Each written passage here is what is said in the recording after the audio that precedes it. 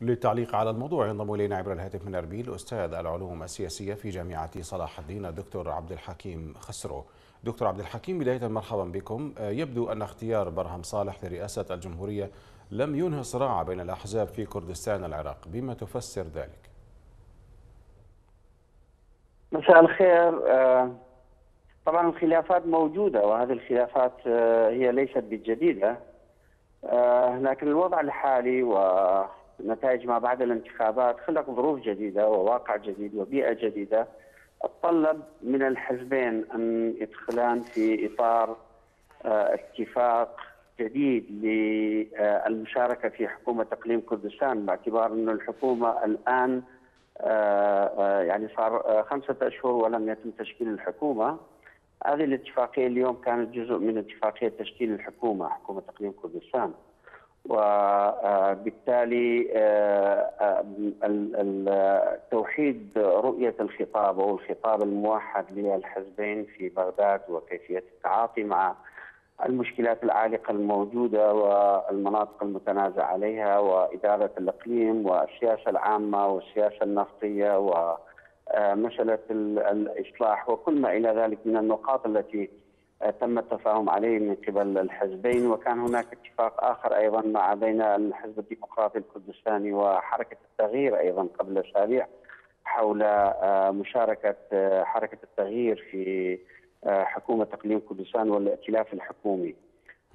يعني بالنتيجة الموقف أتصور الآن هو أفضل من 2014 باعتبار آنذاك كان هناك حكومة وحدة وطنية وهذه الحكومة تفككت حقيقة بعد بعد سنتين من من تشكيل الحكومة يعني في عام 2015 هل يغير الاتفاق هذا الاتفاق؟ هذه المرة نعم. الحكومة هي ائتلافية وليست حكومة وحدة نعم. وطنية أي إن ليس كل الأحزاب السياسية ستشارك في في الحكومة نعم. هناك مشاركة دكتور عبد الحكيم هذا الاتفاق هل يغير يعني الاتفاق الذي عقد بين كردستان بين الحزبين الكبيرين في كردستان العراق إلى أي مدى سيغير الوضع في كردستان؟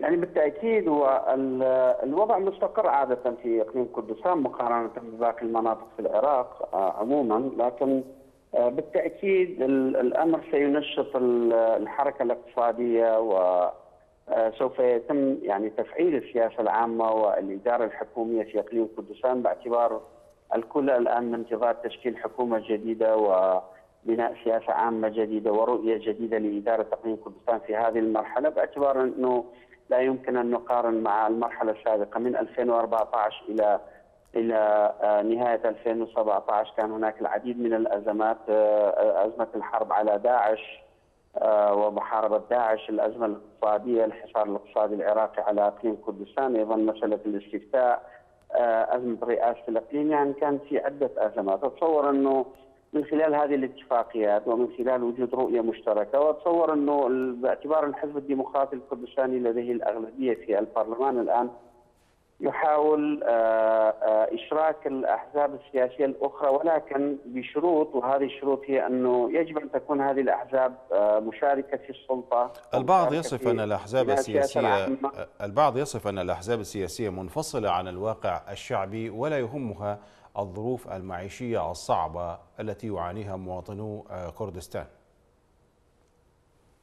يعني بالتأكيد ربما يعني هذه فرضية غير صحيحة باعتبار أنه هذه الأحزاب لديها قاعدة جماهيريه وباعتبار أنه تدخل في عملية عملية انتخابية تعي جيدا بأنه إهمال المطالب الشعبية وإهمال الشارع الكردي ربما سيضر هذه الأحزاب وخاصة الحزب الديمقراطي الكردستاني وباعتبار أنه لديه الأغلبية في البرلمان. لذا فإنه يركز الآن على إشراك الأحزاب السياسية الأخرى والإشراع في تشكيل الحكومة وتقديم يعني الاستمرار في تقديم الخدمات وبناء سياسة عامة في مواجهة الأزمات الموجودة والأزمة الاقتصادية بالدرجة الأساس يعني والتفاهم مع بغداد حول هذه الأمور وبالتالي طيب.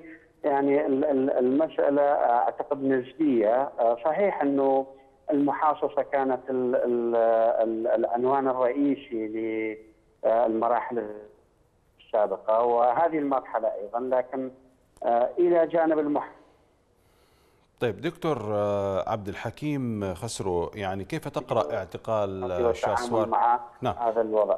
إذا كنت تسمعني دكتور كيف تقرأ اعتقال آه، شاسوار عبد الواحد رئيس حركة الجيل الجديد. يعني هو ما كان اعتقال هو كان في دعوة قضائية ضد شاسوار وبالتالي كان هناك استدعاء له للوصول امام المحكمة وفعلا تم إطلاق سراحه من خلال كفالة. آه، وهذه كان نابع من آه، ربما تجاوز آه، على السيد قباد الطالباني أو تم يعني تم التعاطي مع هذه المساله من خلال دعوة قضائية وهذا طبعا مؤشر ربما مؤشر جيد إنه الأحزاب السياسية الآن لا تلجأ إلى العنف في التعاطي مع الخصومة السياسية بل آه، المحاكم والقضاء آه، ستكون هي الفاصل يعني في مسألة آه، حل ربما التناقضات والخلافات وخاصة فيما يتعلق بالمسائل القضائية والمسائل القانونية. نشكرك شكرا جزيلا دكتور عبد الحكيم خسرو أستاذ العلوم السياسية في جامعة صلاح الدين كنت معنا عبر الهاتف من أربيل.